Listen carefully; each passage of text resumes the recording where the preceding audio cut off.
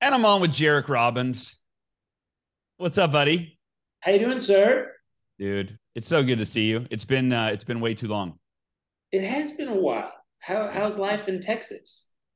It's good, man. We're uh we're living on the land. We're like homesteading. We've got sheep and we've got chickens and we got a, a we got dogs and cats. Those are pretty normal. But um, what else? What other animals do we have? Um, yeah, we have. But it's like we're my my wife is slanging eggs. yeah, she, my wife and kids are slinging eggs. The kids will come home and be like, "Mom, I need a dozen for uh, Betty. Uh, bring to school today." like, my, right. my favorite thing is the Instagram stories people are creating about egg dealers. You see yeah. the dude with like five chains and like fur coat and all this stuff, and it's like egg dealing in 2023. Yeah. Um, my other favorite though was a guy who went to go check on his chickens, and he looks inside and he goes, "What the, what, what?" And, and he goes, "What is that?" And he holds up a chicken, and it's and the chicken has a bunch of gold chains around its neck. No, dude, that's so funny. Um, it it's yeah, I never realized how much I would love chickens. I love their personalities; they're just fun, and you know, they free range on our property. So I'll just be out like, you know, sitting in the backyard at lunch or laying on a lounge chair getting some sun and chickens come up and, you know, just bobbing their head, picking up some off the ground. And like, yeah, they're, they're, uh, they're cool. And then when people come over, they're like, whoa, whoa, there's like seven chickens over there. Wait, th- those are sheep over there. I'm like, yeah, this is it. This is the life, man. We're living it. Uh, it's crazy. We, we got chickens. We put up a chicken house. We have the coolest chicken house on our street yeah. Uh, and my wife was so tired of chickens pooping everywhere that we we sold our chickens oh. right before the egg shortage. So no way. like someone else made bank on that transaction. Dude, that uh no, the, the chicken poop is a is re- the, the struggle is real, man. There's chicken poop everywhere. It's crazy. Yeah. yeah. a lot of power washing at the house. Hey, dude. So I want to start with the reason we even are here today. I texted you the other day just to congratulate you on success. Um, and for those that don't know, you are now the president of Success Enterprises. Um, tell us a bit about what you've learned working for this legendary 126 year old brand and tell me the difference between Success Enterprises and Success Magazine because I only know the latter. I don't fully know what the enterprises entail. So I'd love to hear about that. How'd you get this role, man? Uh, it's really exciting. Totally, totally. Um, so Success Enterprises, 126 year old company. It does, it represents the magazine. We have success.com, success magazine, success coaching, mm. um, auxiliary companies. We have success lending. We have success spaces, our, our, our locations. Um, so we have a lot going on under the umbrella of success. And, and I think something that's pretty unique is a brand that's been around for 126 years.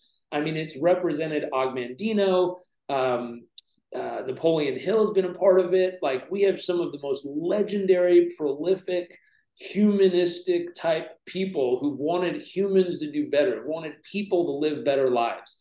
Going all the way back to um, Orison Swett, the guy who founded it, he, he grew up in a really, really rough youth where he, he had lived between multiple homes, I think nine by the time he was 13 and and at one of the places he ran across this book about personal development and it helped him psychologically emotionally personally to develop and then he started this and dedicated it towards helping others live a better life mm-hmm. helping others become happier healthier stronger more fulfilled to kind of summarize uh, a, a, platform there and yeah. it's gotten to represent some of the best on earth over 126 years. It's it's pretty cool. If you look, go back and look at the covers, we have everyone between Jeff Bezos, Mark Cuban, I don't think Serena has been on there. Um, Marie Forleo. We have ton the Sharks. We have all kinds of people, and we've been considering this concept of success. How do we bring that those tools, those strategies, those insights to help people achieve success in their life and business? Beautiful, man. And did it start as a when he started it? Was it as a magazine? Yeah. Okay. Yeah, I think Russell Brunson had might have the first copy.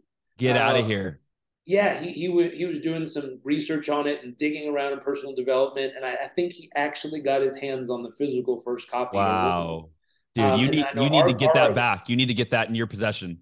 That's okay. Our archives, we have a copy of it as well. But, oh, you do. Okay. He was one of those people who went and found it in the world. Um, we recently had a subscriber who's collected probably thousands of issues. Hmm. Uh, say, hey, I don't know if y'all want these for your archives, but I have just about every issue for the last, and I forget how many years it's been. Yeah. But he sent us like six boxes of issues, and it's amazing looking back at some of the content that's been covered over decades and decades and decades of publication. That is really cool. And so, so how did you get this gig? I mean, it is a prestigious gig. And let me, and before you answer that question, um, to my understanding, Darren Hardy was the face of success for many years. That's how I knew uh, a success, right? And so, um, and also, are, so is your role? Are you in the role that Darren was in before? Is that the same role or different, similar?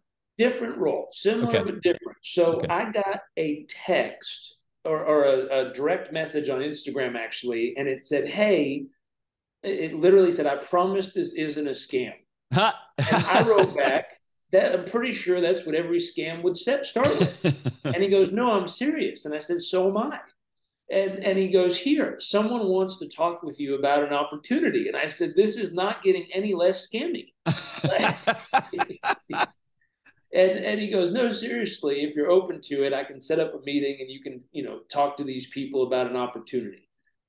I was like, Sure, I'll, I'll I'll entertain it. At least so, he didn't ask for, are you looking for an additional stream of income? Because that would have just that would have really set off the red flag. So it wasn't yeah, additional yeah. stream income. It, it, was just we're, we're we have someone who has an opportunity who wants to talk to you about it. Yeah. And I was like, okay, opportunity, that's interesting. And and so I'm, I'm often keep my eyes open and just watching stuff that's coming through. Um, and and so it popped up, and I said, okay, sure, set a meeting. So they set a meeting, and I looked at my calendar, and the email addresses were legit. And I went, oh, maybe this is something actually useful. And so I showed up to the meeting, and this this wonderful woman showed up. Her name's Courtney, and and she had a big smile on, and she goes, "Hi, nice to meet you. I'm so excited to talk with you. Lots of great energy." And she says, "We want you to become the face of success." And I was like, "Thanks. Uh, uh, what, what are you asking for?" And she's like, Well, we, we want you to be the president of success and, and do this and this and this and this. And I was like, Thank you, but no thank you. I'm busy. I have my own companies. They're doing great. I have a business mentor for the last eight years who told me, do not get distracted. Yeah. build a business. My business requires three days a week, four hours a day to run it and operate it. We have a team of 15 plus people. We have clients in 160, 100, what is it, 150, 150 something, 160 yeah. client, you know, uh, countries around the world. We have active clients learning with us. I think it's 165. Yeah, double check it. Um, but but we have clients all over the world. Our business is working. I have a team. It's highly leveraged. It's in the position. And it took me 15, 14 and a half years to build. Sure. I don't want to get distracted. And I sure as shit don't want to go take a job somewhere. Like, yeah.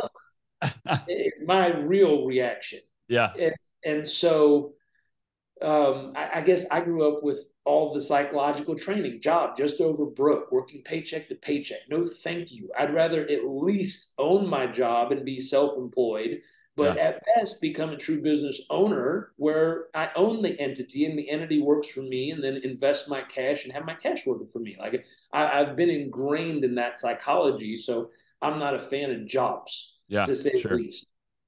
And so I talked with them. I said no. I went over to my business mentor my wife, and they talked me into it. Hmm. They went, whoa, whoa, whoa, whoa, whoa. this is a good one. You yeah. should do it. Yeah. I was like, what are you talking about? You've told me for eight years, do not get distracted. He goes, I know, uh, but this is a good one. now, I teased him. I said, You're either going to be the chapter of the book that says, always listen to the old guy, or you're going to be the chapter titled "The Old Guy Isn't Always Right." Yeah, yeah, yeah. We'll find out over time. That's funny. Um, and, and so with where it's at right now, I stepped into that role. We my main focus was bringing coaching to life for them. So I, I focused on that department. I had to reorganize. Mm. We had 300% year over year growth in the department as far as revenue is concerned. Mm. Uh, we we got things moving in the right direction. We've been able to bring on uh, amazing, amazing set of coaches, and we're setting the foundation to be able to really scale it from here. That's incredible. Because yeah, that I mean that that's the bit that when you when you're talking about the business that you were running that was in 150 you know clients 150 countries that was essentially a coaching business. Is that am I is that right? Um, so that business is is training. That okay. that's more or less personal development training. We have a program and that one who's gone around the world, basically what I did was I was working in coaching and consulting, so two sides of that, okay. with one-on-one clients. And over the years, I had a rule that every five clients, I'd raise the price. Mm. Um, one in personal development and, and, business consulting, for some reason, we generally have a tough time justifying raising the price. Sure. Uh, mainly because it's a helping profession, and helping is most important. Yeah. So if someone comes to me and they're like, "I really need your help, but I just can't afford that," my heart always goes, "Screw the money. What do yeah. you need help with?" And I'll get them the result. Like that's that's who I am. Um, people always say, "What would you do if money wasn't an issue?" Well, if you hung out with me on a Saturday morning, I wake up, have my miracle morning routine, do all the good stuff. Then I'll usually pop into my DMs and just help people. And it's like, hey, what are you struggling with? Here, let me help you. Here, have you read this? Have you done this? Have you applied this? Here, let me send you a PDF. Let me make sure you have this. Like, I literally have fun just helping people navigate their stuff in life. It, it's it's a passion of mine. It's a hobby. It's a joy. Sure. Um, it, it's something that brings bliss and and and fulfillment to my daily life. It feels good to be able to have solutions for people and help them navigate the stuff they're going through. And so, generally speaking, I give stuff away all the time.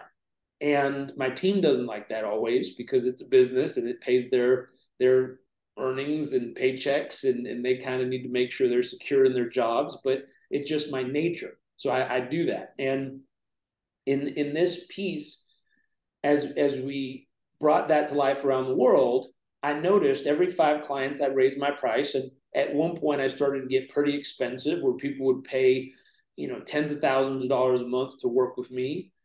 Mm. And that was fun. It, it feels nice to the ego. It's great for lifestyle.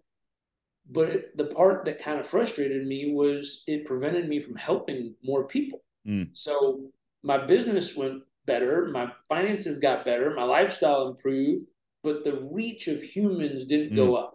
And yeah. so you're helping less people did, at a deeper level, if right, if you will. Yeah. So I took all the same tools that I had been teaching people at you know 10 grand a month and said, how do I get this to the majority of humans at an accessible way? So I broke that into a program on high performance. We put it on Udemy and we made it, I think it's 13 bucks or 18 bucks. And I was like, there, now all these people can have access to the same stuff that people pay 10 grand a work a month to work with me one-on-one with. They can have all the tools, myself, Shawn Stevenson, Wim Hof, Ben Greenfield, like all the tools, they can mm-hmm. have them and they can go better their life. And I think one of the coolest things is I love going in there and reading the, the comments of, of reviews.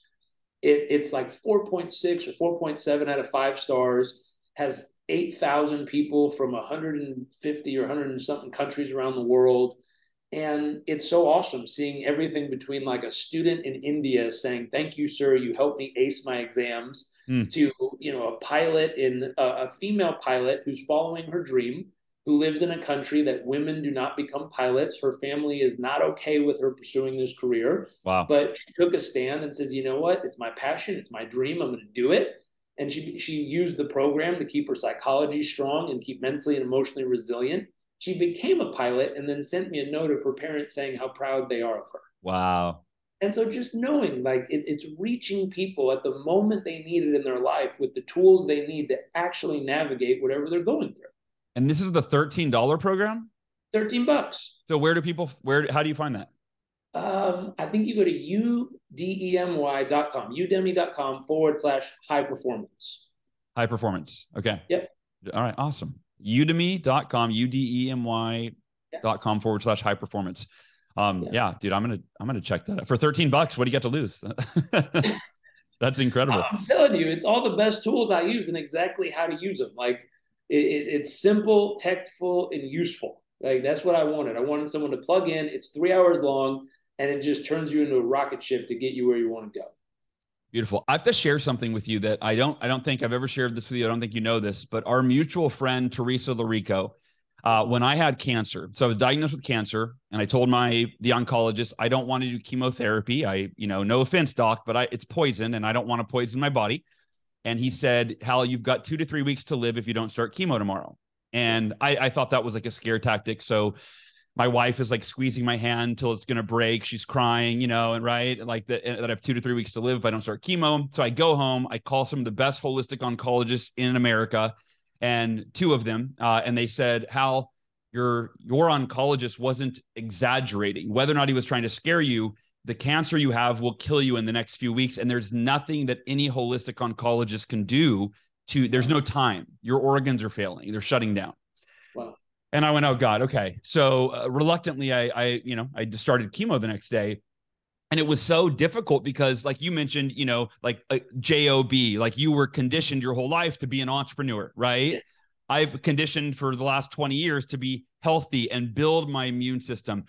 So I was talking to Teresa Larico about it. She checked in, how are you doing? And I said, um, I'm really struggling. You know, I'm doing this chemo. I feel like it's poisoning me. And I know that me having that belief is not going to heal me. And she said, Let me tell you a story about Jairek Robbins that I think will help you. She said, uh, and I want to hear your. I'm going to tell you real quick what she told me, and then you can actually, you know, clean it up with the with the facts. But she I'll said, the real story. You, yeah, yeah, exactly. So she said Jairek was in another country. Uh, he caught, I think, was malaria. Um, he called his dad, and your dad is Tony Robbins. For anyone that doesn't know, you know who's been on the cover of Success Magazine. That's what I was thinking when you were listing off the people. I'm like, and your dad. Don't forget yeah. that. Um, but uh, but you said that you called from the hospital. You said I've got to do this medication. I don't know what to do, and he said if you believe it'll work, it'll work. So that's the high level version of the story. And I applied it. And every time I would have the chemo, I would go, God, thank you for this medicine killing the cancer, but my body being strong enough to survive any of the harmful side effects. So turning it over to you, what what is the the the tell that story? Okay, I'll, t- I'll tell you the story. So I was in uh, Uganda volunteering. I was living in a rural farming village, no electricity, no toilets, no running water. Like it, it was rural farming village. Most people were living in grass huts with mud walls. Like mm. it's a rural way. And we were there teaching them how to do organic farming. We were also teaching them how to do like kitchen stoves made out of clay. So how to mix clay, how to build an oven in their in their hut and then how to create a chimney to get the smoke out of the facility so that they aren't getting smoke inhalation every night when they try to cook dinner on an open fire. So we were teaching them life skills, things that would help in the villages at that stage. Now, wait, wait. I, I have to ask what people might be thinking, which is where did you learn how to organic farm and build clay stoves? Or was it the organization you were with that kind of facilitated that? Yeah, yeah. So so they brought us there and they had us work for two and a half weeks with the government to learn all these oh, wow. skill sets and then wow. they sent us out to the villages to go then train people living in the villages on Got these it. skill sets. Wow.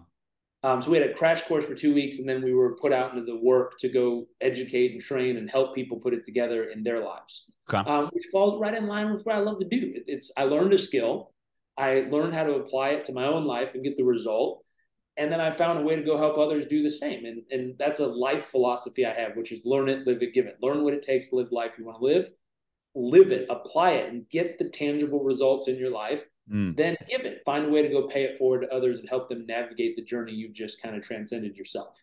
So I, I love the simplicity of that. Learn it, live it, give it. I love that. Keep going. So that's where I was at. We were in the villages. I, like you, in a different format. I was brought up in Southern California, and in Southern California, meditation and green drink solves every ailment you can come up with um, or close to. it. At least that's what I felt like growing up. So you got a headache, meditate, and dig some you know vegetable juice. You you, you got a stomach ache, to, you know drink some greens and meditate. I just had a list of everything it could solve, and so I got malaria. I went to the doctor because I wasn't feeling well. I had a fever, my stomach hurt, all the all the signs. Yeah. Uh, and he goes, "Oh, you have malaria. You need to take the malaria medication." I was like, "Doc, I'm, I'm from California. We meditate and green drink our way out of stuff. I'm good. and so he, he, he was like, okay, pal. Uh, so I went home. He gave me the medication. I did not take the medication. I went home and just kept living life. Yeah. Uh, fast forward, it got worse, mm. and it kept getting worse and worse to the point that my fever was now to the to the moon. Um, I was having chills. I was having trouble breathing at one point. Uh, I was getting dizzy. I was getting nauseous. I couldn't keep food down. Like it was getting bad. Went back to the doctor and he goes, Oh, hey, Mr. Meditation and Green Drink, how'd that work out? and I was like, I've been doing it. And he's like, I know you have. And he and he just he looked at me and he goes, That's the stupidest thing I've ever heard in terms of trying to cure malaria. And I was like, Well, most people don't agree with me. I have my own way and, and it's working for me. I'm gonna stick with it. I was stubborn. And he's like, I don't know how to explain this to you. He's like, Do you use sunscreen? And I was like, Of course. He's like, That's topical medicine. I'm like, Oh, no, it's not it's prevented. Like I had all these stories yeah, yeah, yeah. about what was medicine and what wasn't medicine. It's probably similar in some way to you. Yeah. Um, and, and he sat me down and he goes, Here, there, there's stories in life, and then there's facts. And when facts meet stories, facts when? are what's real. Yeah. So let me just show you the facts. He drew my blood, he put it up on the screen, and I had 55,000 parasites per one red blood um, cell, according to the machine he ran my blood through. Wow. I went, wow, that's a lot. And he goes, yeah, that's too much. and he said, let me do math for you. Like, we can agree on math. Like, you can't tell an emotional story about math. It's yeah. math, it's just yeah. numbers. And so he did the math and he put it through his equations. And every eight to 10 hours, the malaria hatches, it busts through the cell and kills the red blood cell. It feeds on water, so it immediately dehydrates you, which makes mm. you feel horrible. And then it mm. goes and lays eggs in all the other red blood cells and repeats the process and doubles every eight to 10 hours. and so he said, at this rate, he did the math. He says, you have about six days left to live. Mm. And I remember being like, excuse me? And wow. he's like, yeah, you have six days left until, and it's like, until what? And he's like, until your body won't be able to sustain itself. I'm like, ugh, I don't like that at all. Yeah. And he's like, take the medicine. And I was like, man, hold on. Okay, give me the medicine. I'm not going to take it, but just give it to me just in case. And he's like, I've never met someone so fucking stubborn in my life.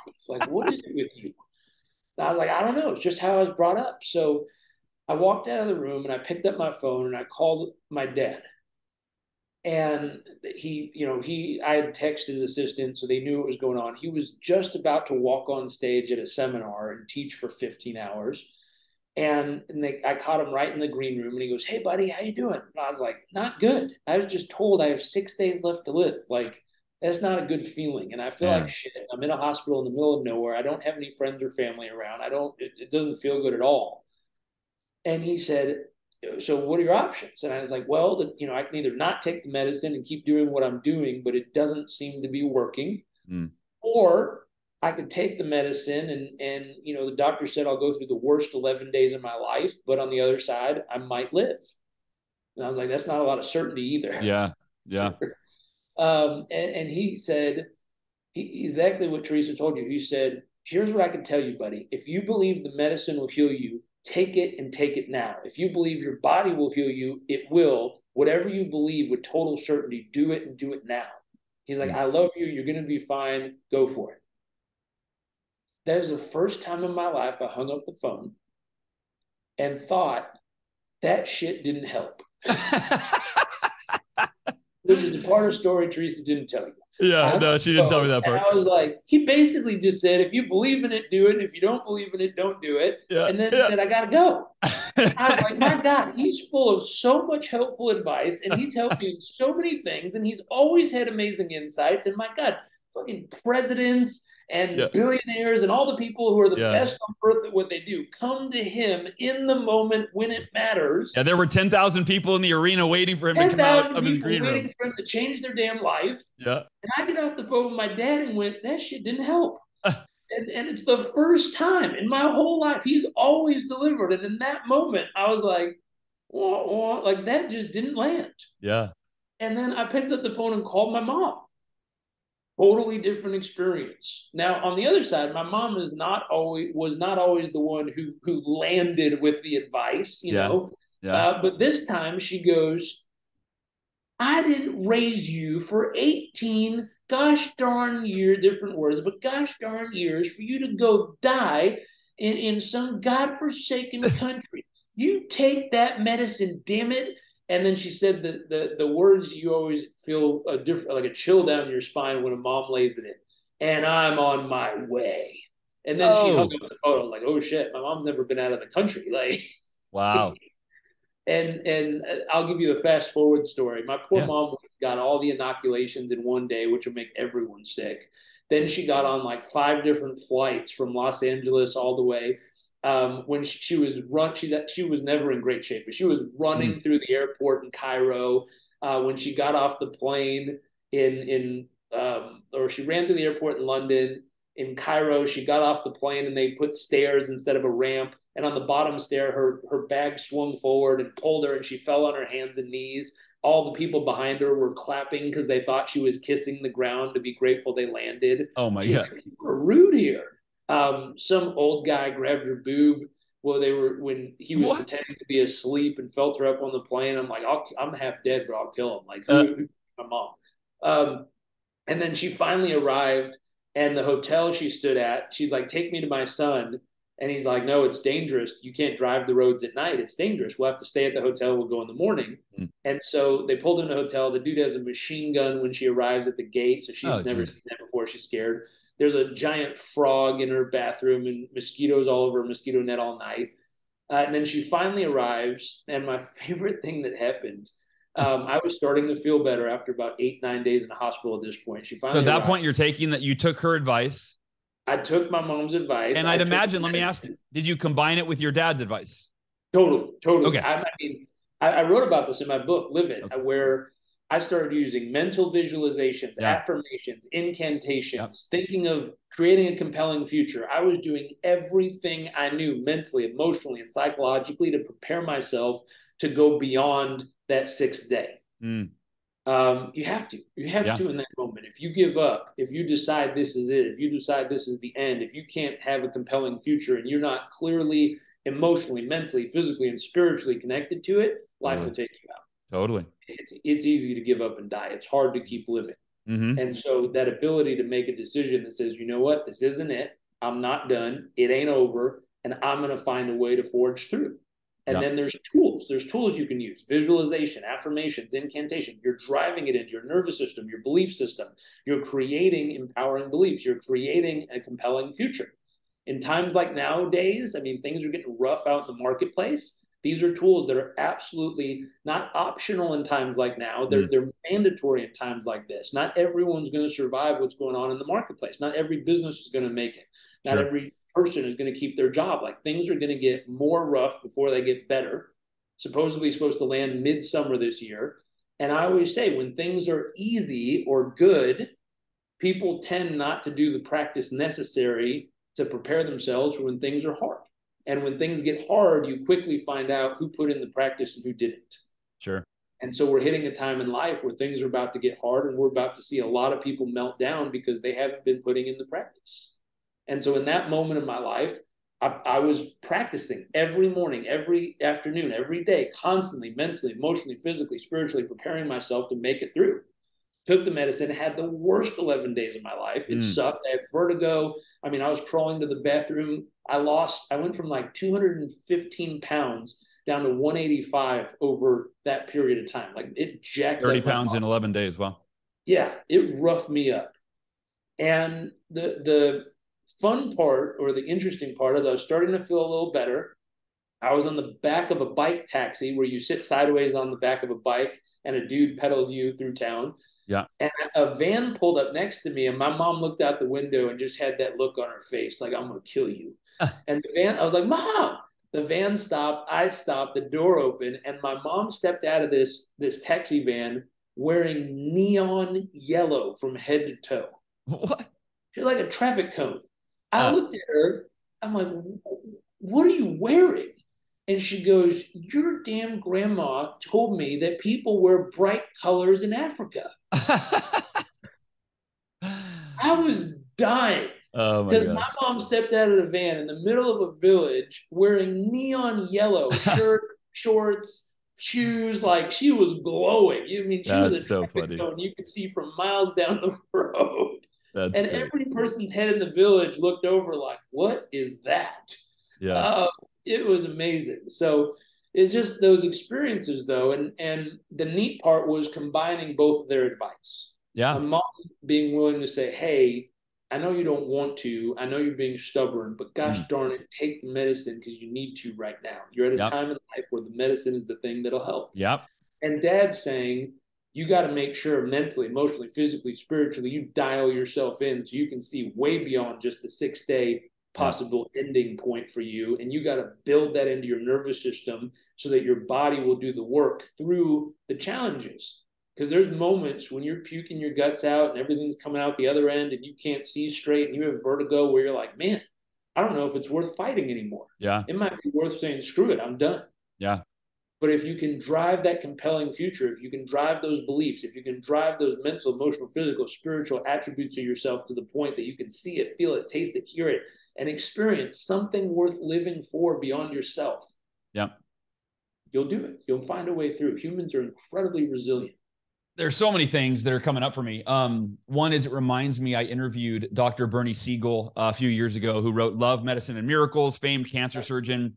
And he said that every pay, you know, he had treated over 3,000 patients, and he said that uh, the one commonality in every patient that survived their cancer, including those that survived cancers that they shouldn't have statistically survived, that he didn't even yeah. think they were going to survive. He said they they were stubborn. They essentially, right? Like they they had they just they had their mindset that I'm going to survive there's no other option. And then they did. And then he said he saw people with lesser cancers that they should have beaten, but they had given up hope. And, you know, it, it becomes a self fulfilling prophecy. And my layman's explanation is always, you know, we have trillions of cells that that are listening. They're always doing whatever we tell them to do.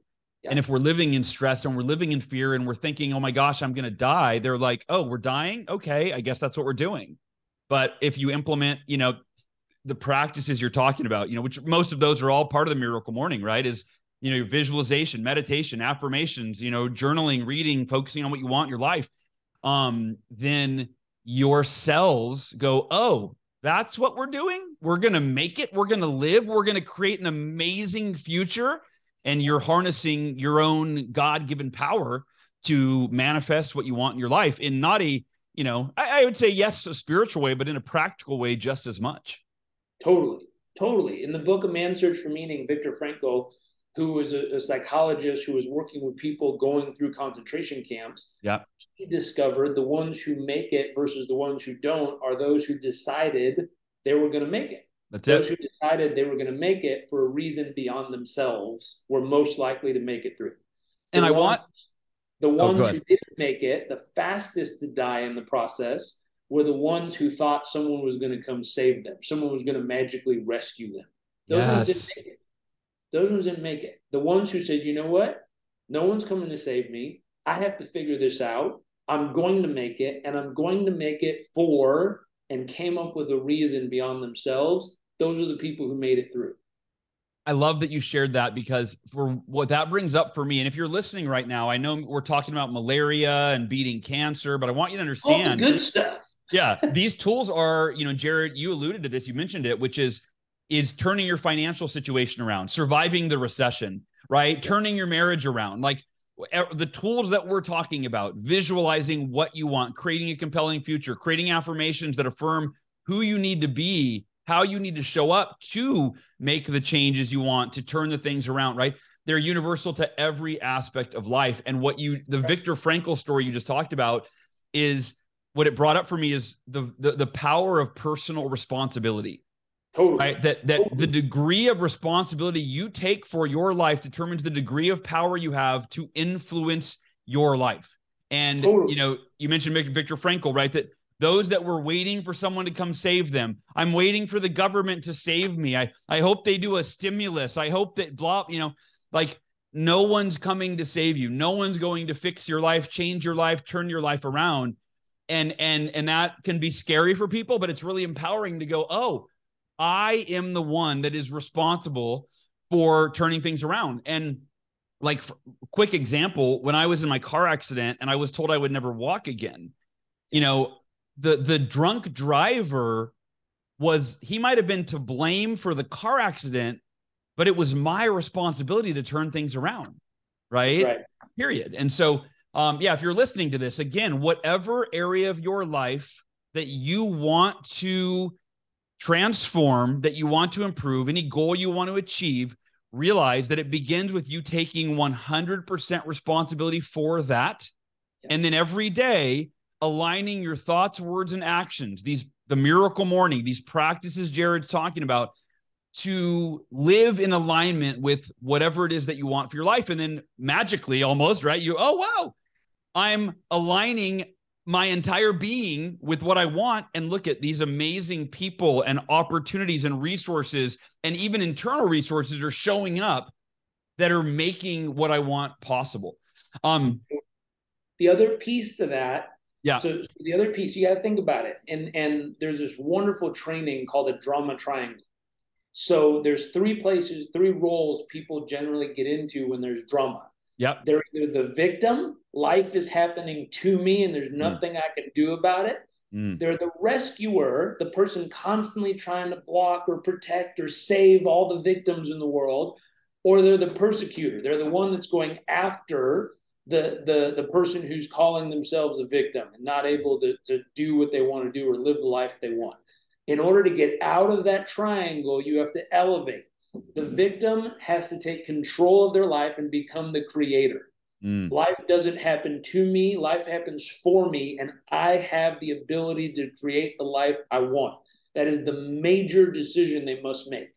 The the person who's the perpetrator, the one going after someone, they have to become a challenger. I challenge you to step up in your life. I challenge you to live a better life. I challenge you to go make your dreams real. I challenge you to do what you know you can do. And the the rescuer has to become a coach. Mm. Instead of trying to protect them and do it for them, you have to believe that they have the ability themselves. And you have to call that out of them. You have to challenge them. You have to coach them. You have to get them to apply their own inner strength, their own inner power.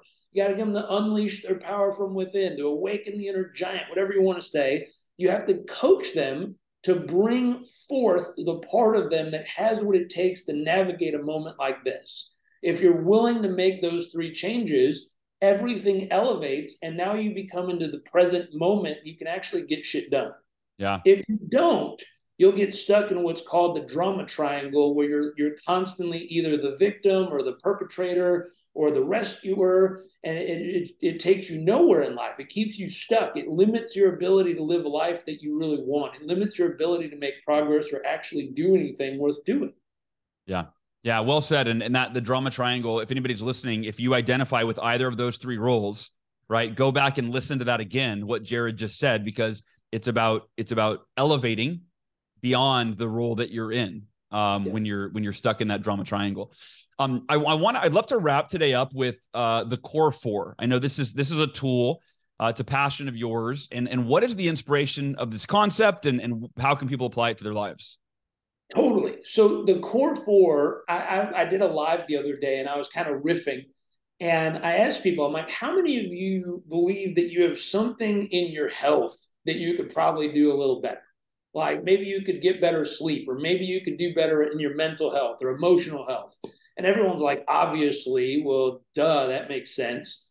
I was like okay so everyone's got something in their health they want to improve on. I'm like there's one. I was like what about your relationships? How many of you are just like you know batting a thousand and have perfect relationships in in your intimate family community work client relationships, and everyone's like, "Oh no, I got at least one I need to improve on." I was like, "Okay, there's sure. two things we need to go for."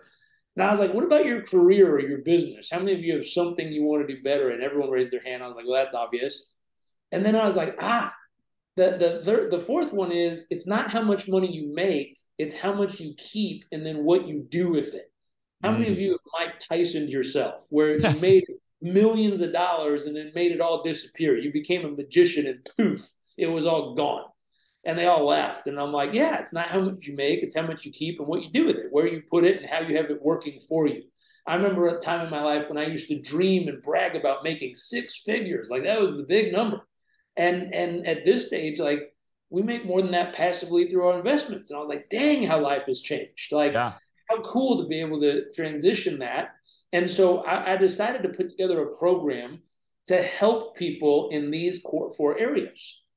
And so uh, it's just coming to life right now. I just developed a year's worth of content. We developed the whole thing. Mm. This is one of those, I'm going to put it at a price point that everyone can access type of things like the Udemy course. Yeah. Um, if people are interested, the, the place that I'm going to notify first is if you go to highperformancevalues.com. So yeah. highperformancevalues.com, take that values assessment, mm. which is a free gift from me to you to help you make sure your life is aligned with what's most important to you. It's kind of a good place to start for most people um, gets rid of those inner conflicts and all those frustrations of why am I doing this, and lets you set up your day to day life so it's actually in alignment uh, with what you believe and what you value, what's most important to you. So start there. I'm going to notify that list of people first as soon as the core four is ready. Yeah. Um, but it's a community. We want to put together a community of humans who are all like minded and working towards becoming better in their health, their relationships, their career, their business, and then their wealth. Uh, and I'm going to do my best to keep it at a price point that's very accessible so that just about anyone can hop in and, and do the work. Beautiful. Beautiful, man. I, that's a fantastic program. And, and those four, right? It's like if you're thriving in all four of those areas, everything else takes care of itself because because you become the person that you need to be to be able to handle your life. Um, the uh, the last thing I want to ask you, and then we'll we'll close. Uh, or, or, am I allowed to to talk about the next cover of Success Magazine and where people can get that? Oh, I don't think so, but I okay. know someone incredibly good looking that might be on it. um, I, I, don't. I don't. Depends on when this is released. I, I um, think it's April twenty fourth is when we're allowed to say technically who is on the cover. Okay. Um, but but eh, I know I know a guy. Yeah. And, and well, there was a beautiful woman. If I'm if I'm if I'm being honest, there was all there was a, a beautiful woman. Guy, a beautiful woman, uh, a strapping young lad. Like yeah. they're all there on the cover, talking about success and talking about beyond success. You know, nowadays in the '80s, success used to be a yacht and a and a Ferrari. Um, I don't think that's what success looks like nowadays. I think it's far beyond that. And so, what is beyond just tangible, you know, financial success look like in life? And it's on it's on the cover. Um, yeah. We'll be in newsstands all over the world. So uh, I think I saw it at Whole Foods, Barnes and Noble, all the airport newsstands. Go to your local newsstand, grab a copy, and I'm going to do something special. So I remember wanting to put things at a price point that people can access. Yeah. If you go buy a copy of the magazine, that someone really good looking and their family's on. Just can't say who, but you'll figure it out. Uh, if you go buy a copy of that issue of the magazine, um, all you're going to need to do is show us your receipt, and we'll give you free access to four four free trainings I'm going to do: one wow. on health, one on relationships, one on career, and one on wealth. And I'm going to give you all of what I know for free in those as a give you you know a head start to to support you and help you navigate those categories of your life. So April 24th, that'll hit newsstands. Go grab a copy, email in a copy of your receipt. Uh, you can email it to coaching at success.com. Once we get a copy of your receipt, we'll give you a free invitation to those trainings. And then I will give you the best of what I know in those core four areas of life. Awesome. Awesome, Jairek. Well, hey, man, you're doing fantastic work in the world. You have been for decades, and uh, it's an honor to know you. It was an honor to feature you in the Miracle Morning uh, documentary and uh, I'm just I'm grateful to uh, to watch your journey and, and and what you're doing at Success Enterprises, and I'm grateful to be a part of your life, brother. Thank you. Same man. Thank you. Awesome. All right, goal achievers. Thank you for listening today. I love you. Go grab a copy of Success Magazine. Forward your receipt to coaching at success.com, and uh, you'll get Jairek's free trainings. Um, and thank you for listening today. I appreciate you. I love you. And I will talk to y'all next week.